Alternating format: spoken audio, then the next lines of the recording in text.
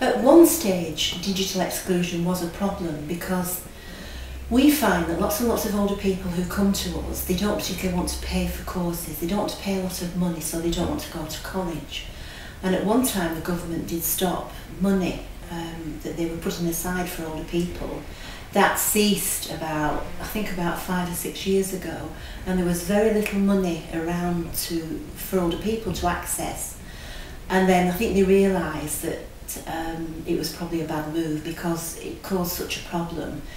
Older people, as I say, don't want to pay for courses. So what was happening was that they were coming to us saying, can we go on a course? And we were having to say, well, we haven't got the money. Um, there's no money around. And so if you want to go on a course, then it's going to cost you and probably something like 50 or 60 pounds. Well, that's it. And they don't want qualifications particularly. They just want to do what they want to do. So uh, they reinstated the money for older people's education and we now have free tutors. Our tutors are provided by Lancashire College, we don't pay for tutors.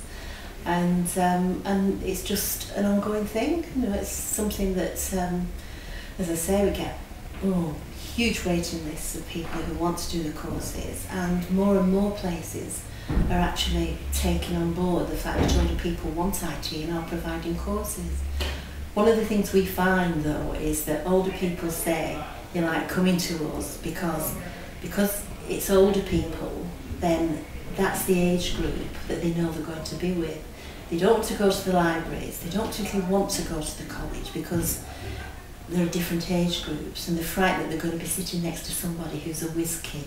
Mm. And that means that um, for them they feel that, you know, perhaps I shouldn't be, you know, shouldn't be asking questions and, and that puts them off.